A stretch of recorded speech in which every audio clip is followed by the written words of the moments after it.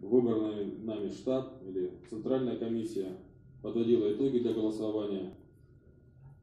На наш взгляд, участковые комиссии, сформированные из, в основном из общественников, сработали достаточно четко.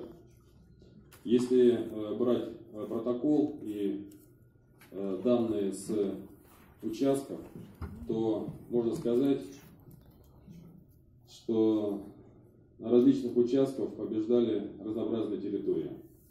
Если это э, взять участок 11 школы, то там победила территория 11 школы. Если взять э, участок, э, где дома Рогачевские, то там безоговорочный лидер с очень большим отрывом, это территория, указанная там, находящаяся поблизости.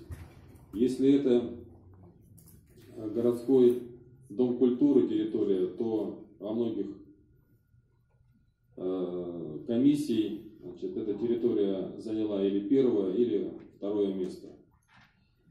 Э, очень хорошо показал себя парк культуры, не, парк культуры, э, мемориал Парк Победы.